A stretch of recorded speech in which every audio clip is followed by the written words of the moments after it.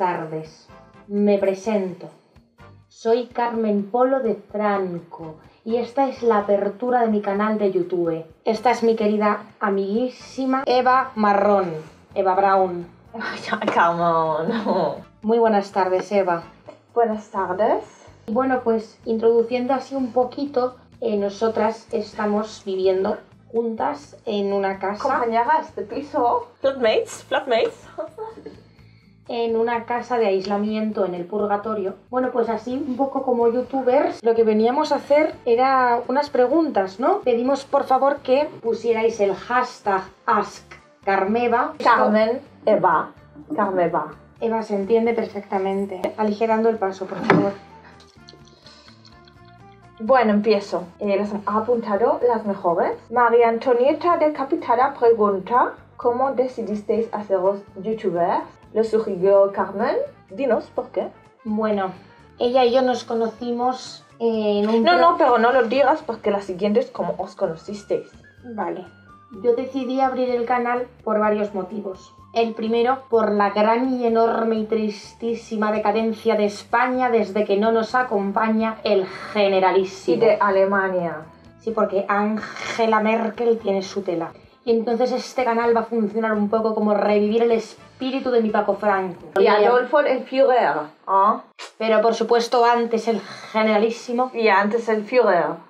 Pero por supuesto mucho antes que el Führer, el generalísimo Francisco Franco. Mm, Carmen, no otra vez, ¿eh? No otra vez, antes el Fran. o Como a los no. tontos da la razón. Mi periódico favorito. ¿Cómo os conocisteis? Bueno, em, ¿Esto quién lo pregunta? Abraham Mateo. Yo me enteré, yo todavía no conocía a Carmen, estaba aislada, soledad. Y me hablaron de unas charlas. Eran obligatorias, no se enteró bien. No se enteró bien. Era un cursillo de reintegración para esposas de fascistas. Bueno, a, a mí realmente no me dijeron nada, me dijeron, dan palmeras de chocolate y yo pues fui. Y cuando llego, que me encuentro el grupo de reinserción de mujeres de dictadores, Carmen también, nos comimos las palmeras y nos fuimos. Yo me llevé tres en el bolso y Carmen cuatro. Y bueno, y me regaló esta pulsera. ¿Ah? Amigas, le gustan las joyas a Carmen. Me las regalaban mucho en mi querida España. Ahora, querida, voy a leer yo un poco, porque es el programa de las dos. ¿Por qué creéis que estáis en el cielo? Esto lo pregunta Napoleón Bonaparte, que en Bonaparte es tonto. En Bonaparte es tonto porque en el cielo no estamos. Pero deberíamos. ¿ah? Estamos en una caseta aislada de aislamiento. Pero podemos usar la piscina y, y las instalaciones. Cuando llueve a veces se forman piscinas naturales en las nubes del cielo y vamos a tomar un baño. Como buenas amigas juntas vamos a tomar un baño y luego volvemos prontito a casa. Ella era nudista, casi estuvo a punto de bañarse en pelota picada en una de las nubes piscina. Mucha, muy vergonzoso. No, es que Carmen va con abrigo y eso es más vergonzoso todavía. Con eh, pluma, va, con pluma. Eva, Pero es que tú me has dicho lo mismo. Eva, para Eva, Para mí, esta pregunta es de Marilyn Monroe. Se nota, se nota que es de Marilyn Monroe. La pregunta enuncia. ¿Tuviste sexo con Adolfo Hitler? No contestes si no quieres, querida. pues es que no tengo mm, por qué contestar porque yo creo que se sabe perfectamente la respuesta. Todos conocemos cómo era mi Adolfo. Para Carmen Ah, te la leo yo. Ah, ¿Era Paco bueno en la cama? ¿Lo era? Perdona, ¿puedes repetir la pregunta? ¿Era Paco bueno en la cama? Esto es carajillo. Voy a dar un trago, que esta pregunta es picante. Aclarando la realidad. Paco Franco y yo solamente tuvimos sexo dos veces. La primera, la noche de bodas. Era obligatorio, por Dios, enunciado en la Biblia Sagrada. Segunda vez, solo por procrear. Y fruto de tal noche fue nuestra querida Carmen Franco. Nunca más volvió a tocarme. Esta es de Félix Rodríguez de la Fuente. No, no, dale la vuelta.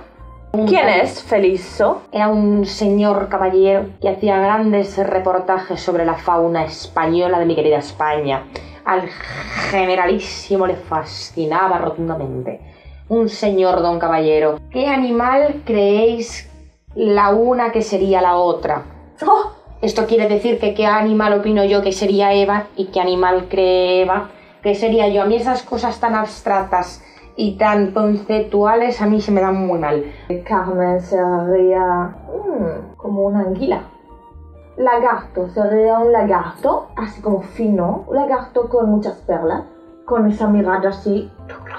Lagarto, tu lagarto. Yo creo que la señorita Eva Brown sería un perezoso, porque en casa no participa en las tareas domésticas. Yo siempre he sido acostumbrada a tener asistente de la limpieza, asistente del hogar y múltiples doncellas. Ahora San Pedro nos ha castigado sin servicio doméstico y nos tenemos que ver obligadas a hacer nosotras solas las labores de la casa. Y ella no participa de forma activa y acabo siendo yo, de forma humillante y vergonzosa, la que acaba pasando el plumero por Mira, toda la Carmen, caseta. no, eh, no más, es que es mentira. Tú estás enferma, Carmen.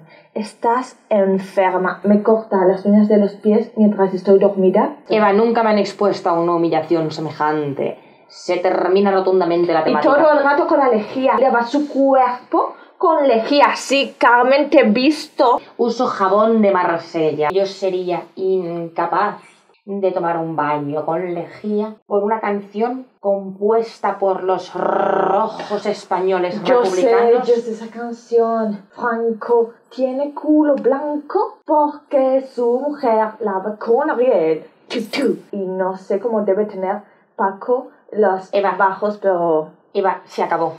Señorita insolente. Uy, decir, Adolfo. Se nota que Adolfo no la tenía rajatabla como me tenía mi señor Francisco. Tú no sabes cómo me tenía miedo, güey. Pero bueno, señora, pero bueno, señora. Ay,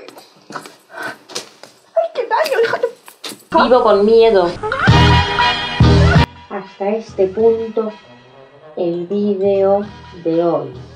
Próximamente tendréis más vídeos. Aprovecharé para hacer alusión, propaganda, saludar y conmemorar al generalísimo y si la señorita lo desea, a su.